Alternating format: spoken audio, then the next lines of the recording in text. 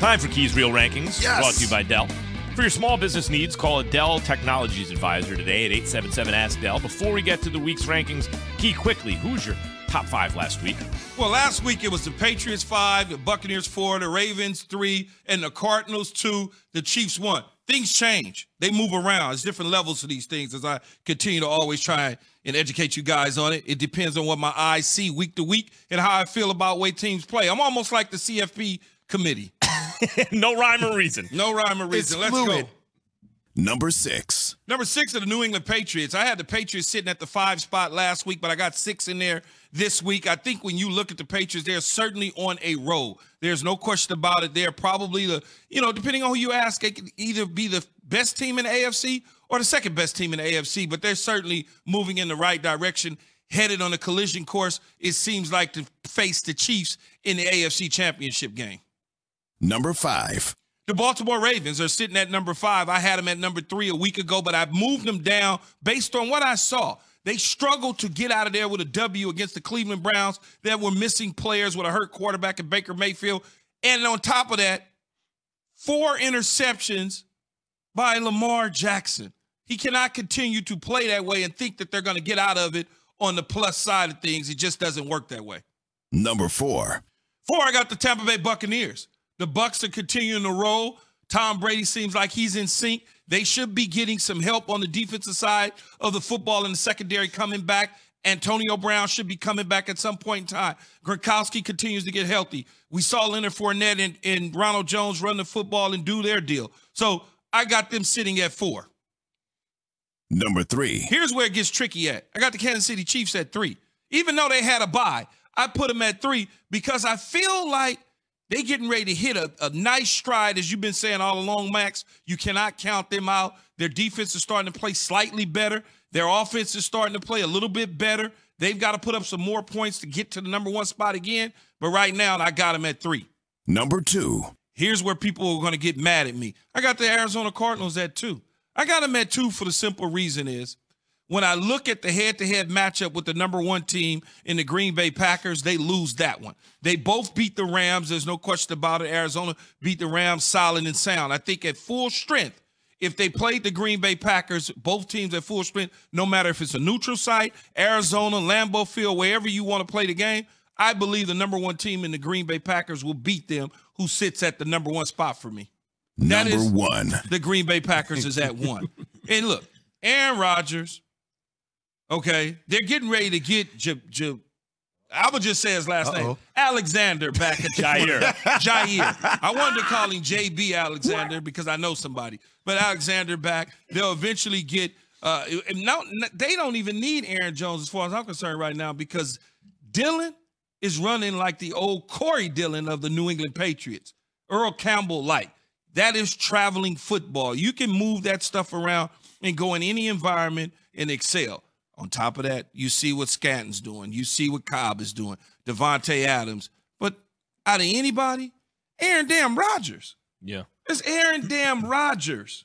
Hey, uh, I, With the I, hurt I- toe. I'm with it. I'm with the rankings. There's do you I'm notice? not. Do you notice what I noticed, Jay? One thing. Oh well, I I- I don't understand how the Patriots, who demolished the Titans 36 to 13, dropped one, but the Ravens, who still got to win. I hear what you're saying, but look bad because of Lamar Jackson throwing four. I get that one. I get that. You one. do? Yeah. How? Yeah, because I don't know how they- because the Pa- Lamar Jackson just threw four picks and they're banged up and they still won. But how did the he Pats, throw four how picks did the again Pats drop one when they won six straight?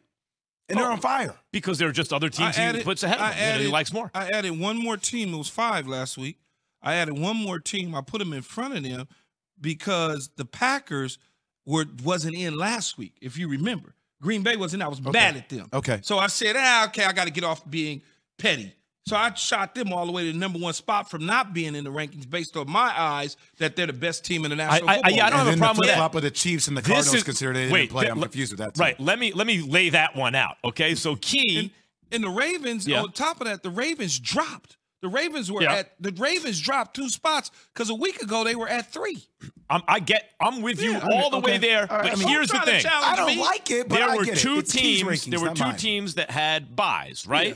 The Chiefs Mm-hmm. and the Cardinals. But they flip-flopped. now, Somehow they flip flopped. Yeah. How did that happen? because when I look at when I look at Arizona and I say to myself, okay, they won two games with Colt McCoy.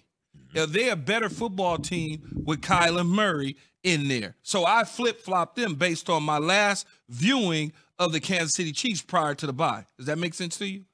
You, in other words, you just considered it a little bit more and thought, Can I you know what? I, by the way, I respect that, Jay. In other words, I thought about it more, and with more time to think about it, I, my rankings from a couple weeks ago, I like these better. Couple Yeah, I like that. from last week. And the Bills Last don't week, make for it last just Not a couple weeks. Last week. Don't Right, mean one- one well week. last week. yeah, but you gotta. You said- He, but it's, an like- honest ranking. It's, what he's feeling. It's like It's always it's like honest. the college. honesty. It's like the college football committee, playoff committee.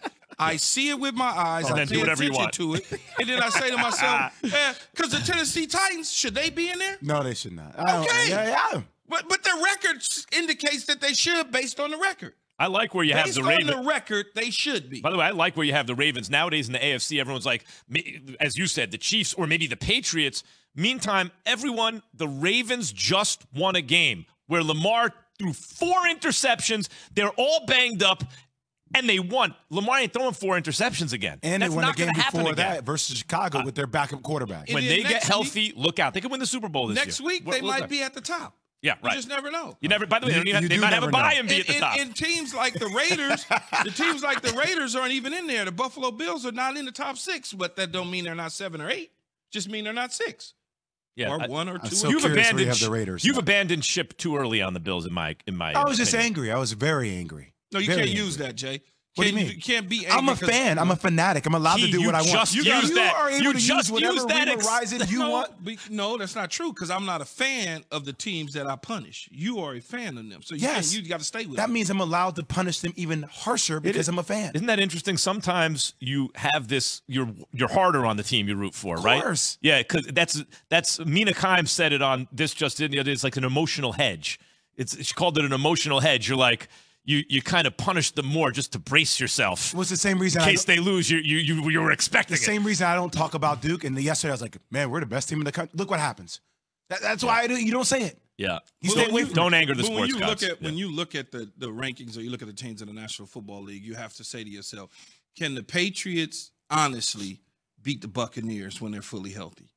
Can the Ravens beat the Buccaneers when they're fully healthy? Can the Bucs beat the Cardinals when everybody's fully healthy? What does you know? You start looking at the matchups. Yeah. What are the strengths of a team? Who's playing the best football of anybody right now? It's the Green Bay Packers. Speaking- and you could say it's the New England Patriots, but I don't think New England can beat Green Bay in a head-to-head matchup. Speaking of the Packers, um, are they at full strength? Here is Aaron Rodgers on the Pat McAfee show. as compared this Monday to the last Monday, I definitely felt better, and same with this Tuesday to last Tuesday. So keep getting treatment. You know, we've uh, we're hoping to avoid surgery, obviously, but the surgery would be such a minor one; it wouldn't be something that I have to miss time with. That's a prereq for any surgery that I have at this point. I'm not going to miss any time, so we'll kind of reassess early next week and make a decision. But it's not something where I could have surgery you know, on a Monday or Tuesday and play on Sunday. I love him. You know, there's sometimes I hear Aaron Rodgers and I start to roll in my eyes because I'm just like, I can't, I, I can't. Yeah, like the toe's fine. You're gonna be all right. I hear what you're saying about potentially surgery, not surgery. But damn, dude, you, you threw for 400 yards with the hurt toe. Like, just keep doing what you're The doing. The pinky toe, though. It's not the Pinky big toe. toe. Shot my pinky toe. my pinky toe. He uh, certainly balled out with a whatever pinky toe hurt, what it hurt toe, whatever the case may be. It didn't affect him at all. Like I said, I'm sure they give they gave him something that will make his toe feel better through the course of the game. Yeah, by the way, he took, he's very selective where he follows medical advice. The toe hurts. Can do you have something for it? Okay, yeah, I'll take that. I'll take that. If he has surgery, The- believe me, he's going to take some kind of anesthetic on the the, toe was immunized. Yeah, he, he ain't Oh, going. God, he ain't going to a stop. I didn't say it. Joe Buck said it. he Don't ain't- run the game. ain't- It's not he me. he ain't going to a volcano and looking for aloe leaves or something around. Whatever he does, eh, then he takes the I- anesthetic. I, just love how he talks though. It's just everything is just so yeah. Yeah, that's what I'm saying. The tonality. zen and just relax. I'm still in Hawaii, even though I'm in Green Bay. I'm chilling. You know, Toes in the like- camera. What do you think the gap is if fully healthy? Like, and I don't mean players who are gone for the year. Yes. but like players they could get back so that so no other major injuries if fully healthy, you just mentioned, you know, in, in your rankings, some of these teams. What about the Cardinals and Packers?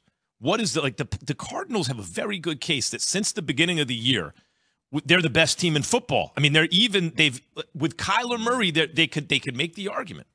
Yeah, yeah, you you can make the argument. I just think that I can't see as great as Kyler Murray's been when he's on the field and healthy. I can't see that he can match Aaron Rodgers' play quarter for quarter.